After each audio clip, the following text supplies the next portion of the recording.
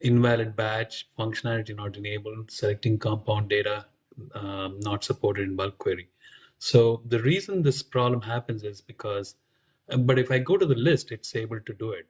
Um, so, but the reason the bulk CSV is not able to execute is because there is a field called mailing address there. Uh, everything else uh, is okay, but the mailing address is a compound field, which is not allowed. I'll share a, a, a Salesforce documentation tells you what what what the problem is.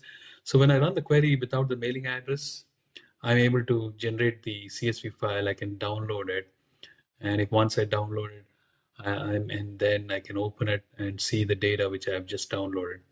Uh, so everything looks good, except that I couldn't uh, include mailing address as one of the fields to be downloaded.